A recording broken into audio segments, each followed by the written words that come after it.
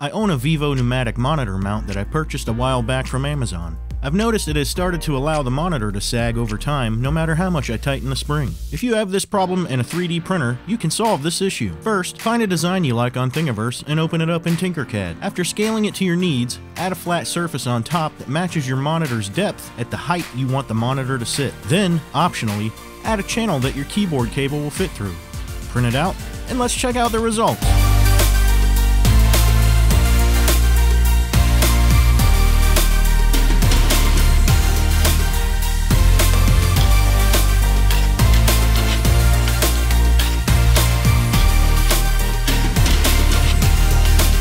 And there it is.